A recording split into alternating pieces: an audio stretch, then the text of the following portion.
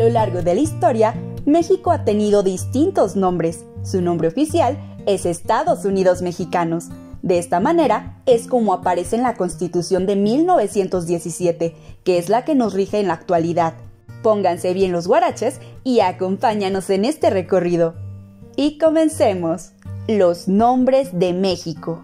Virreinato de la Nueva España. Año 1535. Se creó oficialmente el 8 de marzo de 1535. Su primer virrey fue Antonio de Mendoza y Pacheco, y la capital del virreinato fue la Ciudad de México, establecida sobre la antigua Tenochtitlán, capital de los mexicas, y el territorio de la Nueva España estuvo dividido en Reino de México, Capitanía General de Yucatán, Capitanía General de Guatemala, Reino de Nueva Galicia, Reino de Nueva Vizcaya, Nuevo Reino de León y Nueva Extremadura. América Mexicana, año 1813. Este nombre estuvo plasmado en el documento Sentimientos de la Nación, que fue dictado por José María Morelos y Pavón entre el 26 de noviembre de 1812 y el 9 de febrero de 1813, y redactado por don Andrés Quintana Roo, para ser leído el 14 de septiembre de 1813, durante la apertura del Congreso de Anáhuac en la ciudad de Chilpancingo, en el cual declaraba la independencia y la soberanía de la América Mexicana, estableció un gobierno de representación popular, prohibió para siempre la esclavitud y estableció una serie de demandas que interpretaban fielmente el sentir de los mexicanos. Imperio Mexicano, año 1821 a 1823.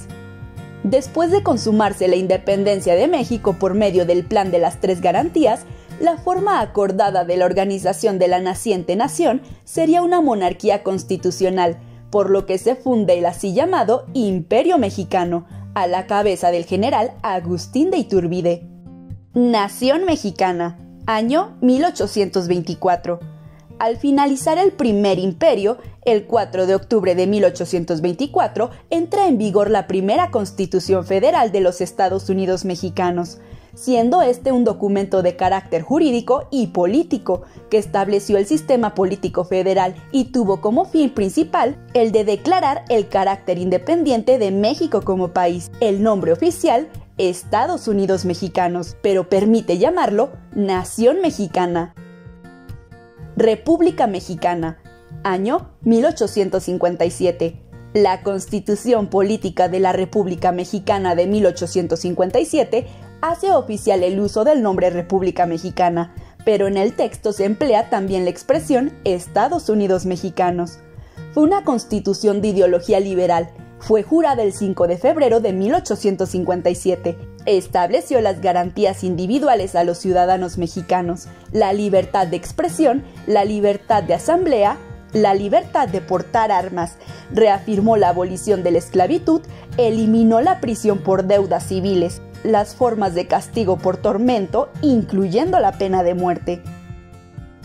Imperio Mexicano, 1864 a 1867.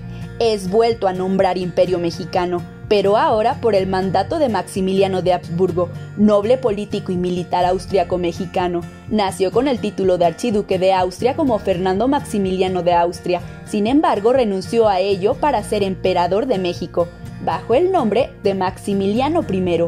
Su mandato fue paralelo al gobierno encabezado por Benito Juárez. Y para finalizar, Estados Unidos Mexicanos. Con la Constitución de 1917 se vuelve a retomar el nombre de los Estados Unidos mexicanos hasta la fecha. El 5 de febrero de 1917, Venustiano Carranza promulgó la Constitución que aún nos rige. Esta Constitución, además de incluir los derechos del hombre, se abordaron los derechos sociales se decreta la no reelección, se ratifica la soberanía y la organización federal, se instauran la libertad de culto y de expresión y la enseñanza laica y gratuita. Hemos terminado con este recorrido. Esperamos te haya gustado y hayas aprendido un poco más de México. Nos apoyarías mucho compartiendo este video y recuerda activar la campanita de las notificaciones para los nuevos videos.